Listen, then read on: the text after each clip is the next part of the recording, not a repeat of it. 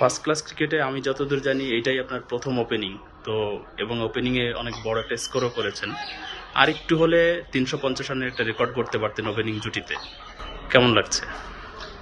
অবশ্যই রান করলে তো সবসময় ভালো লাগে। রেকর্ডের ব্যাপারটা আসলে মাথায় ছিল না। কোনো কিছু, এত কিছু চিন্তা করে হয় না। জাস্ট আমার টার্গেট ছিল একটা বড় পার্টনারশিপ করা। মিজানও খুব দারুণ একটা ইনিংস খেলেছে। তো মিজান আর আমি দুজন সেট ছিলাম চেষ্টা করছিলাম যে যত লম্বা করা যায় পার্টনারশিপটা ন্যাশনাল লিগ মানে মিথুনের মতো ন্যাশনাল লিগ হয়নি যতদূর মনে হয়েছে। তো সেই জায়গা থেকে বিসিএল এ প্ল্যানিংটা কি? এখন তো বড় একটা স্কোর করলেন মানে ইচ্ছা কি এরকম যে সর্বোচ্চ রান স্কোরার হবেন? না আমি আসলে ওইভাবে কখনো চিন্তা করি না। সবসময় আমি ম্যাচ বাই ম্যাচ আগানোর চেষ্টা করি এবং সবসময় চেষ্টা করি যেন যে টিমে খেলি সেই টিমের হয়ে যেন কন্ট্রিবিউট করতে পারি। আমার কন্ট্রিবিউশনের যেন টিমের ডেভেলপ হয়।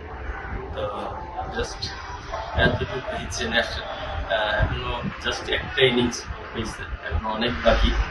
তো চেষ্টা করব এই ধারাবাহিকতা টিমের পরিবেশ কেমন? টিমের মানে ব্যালেন্স কেমন মনে করেন আপনি?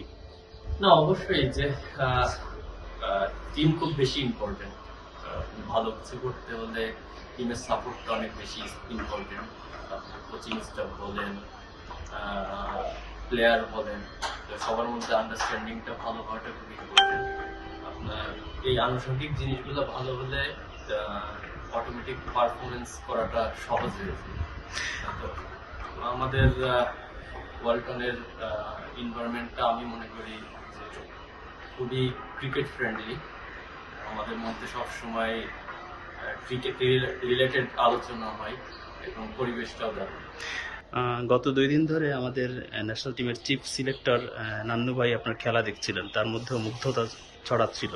বেশ প্রশংসাও করলেন।